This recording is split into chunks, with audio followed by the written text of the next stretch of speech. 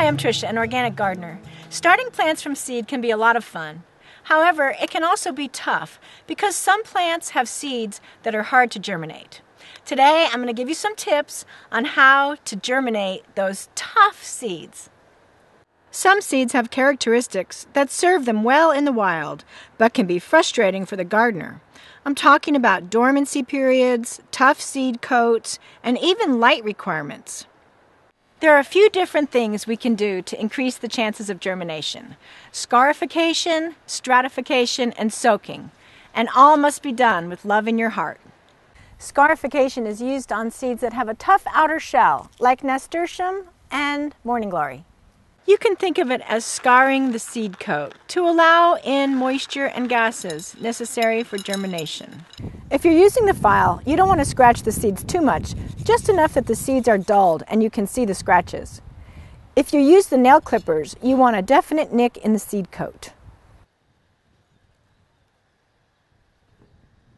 Another method of scarification is to put the seeds in very hot but not boiling water.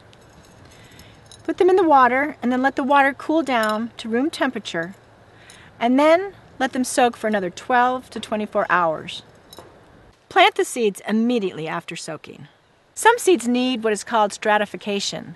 This process mimics the natural freeze and thaw cycles that some seeds require in order to germinate. Wildflowers and perennial flowers are often planted in the fall, and they may stratify naturally. Or you can ensure that this process happens with a few simple steps.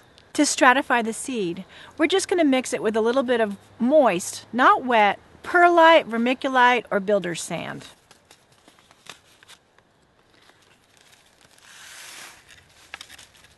Mix the seed and the medium in a plastic bag. You want one part seed to three parts medium. Place the bag in the refrigerator, not the freezer, for about 10 to 12 weeks, and check it every so often to make sure that the medium stays moist. After that period, take the bag out and plant the seeds along with the medium. Be gentle with the seeds in case any have sprouted.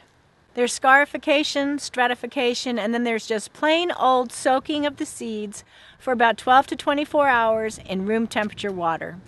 And seeds like beans, peas, and okra benefit a lot from this soaking. Parsley is a special case. The seeds from parsley are actually coated naturally with a substance that retards germination. It really helps to soak the parsley seeds for 48 hours and change the water twice. For some seeds, they don't need soaking, they don't need scarring, but the amount of light that they get while they're germinating is important. For example, alyssum needs light to germinate, so it's planted very shallow.